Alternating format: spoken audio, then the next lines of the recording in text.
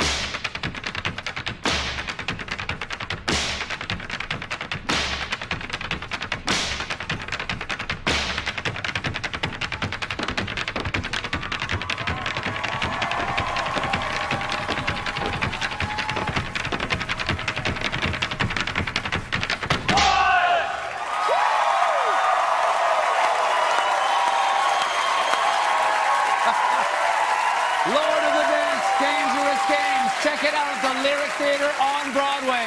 We'll be right back. Let's do it.